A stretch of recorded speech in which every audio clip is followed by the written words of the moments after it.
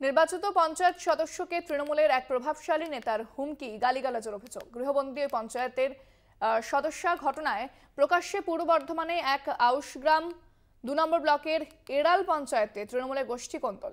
এই ঘটনায় অভিযুক্তদের বিরুদ্ধে আউশগ্রাম থানায় লিখিত অভিযোগ দায়ের করেন সোনামণি টুডু। অভিযোগ দায়ের হলেও অভিযুক্তরা এখনও পর্যন্ত অধরা। অভিযোগ এড়াল পঞ্চায়েত প্রধান পঞ্চায়েতে প্রধান করার জন্য সোনামণি টুডুর কাছে মোটা টাকার চেয়েছিল। আউসগ্রাম দু নম্বর ব্লকে তৃণমূল কংগ্রেস সভাপতি রামকৃষ্ণ ঘোষ ও এরাল অঞ্চল তৃণমূল কংগ্রেস সভাপতি উজ্জ্বল পালে দরিদ্র হওয়ায় কোনো টাকা তিনি দিতে পারেননি। টাকা দিতে না পারার জন্য তার পরিবর্তে পার্নো মান্ডিকে প্রধান করা হয়।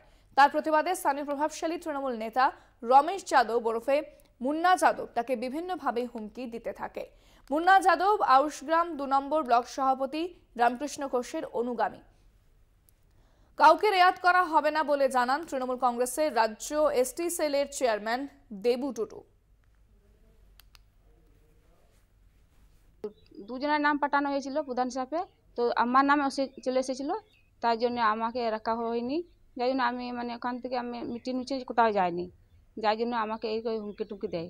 আপনি আহ, দুয়ারে সরকার ক্যাম্পে গিয়েছিলেন? হ্যাঁ গিয়েছিলাম। তো আমাকে কেউ বলেনি। আমি নিজে মনে গিয়েছিলাম। আমাকে কেউ বলেনি আসতে হবে না কোথাও যেতে হবে তাই কেউ বলে নাই। আমি নিজে মনে গিয়েছিলাম। তো এসে আমাকে এরকম হুমকি টুমকি দিচ্ছে। যারা আমার বুথ সভাপতি আছে আমাদের গ্রামে সে রাধামপুরে সেই মুন্না। মুন্না পান্না। ওরাই মদ খাই যা মন তাই আমাদেরকে এটা ভীষণ বাজে বিষয়। এবং যেই করুক, যত বড় শক্তিশালী নেতাই করুক, তাদের বিরুদ্ধে দল ব্যবস্থা নেবে। আমাদের দলের নাম তৃণমূল কংগ্রেস, আমাদের নেত্রীর নাম মমতা ব্যানার্জি, আমাদের নেতার নাম অভিষেক ব্যানার্জি।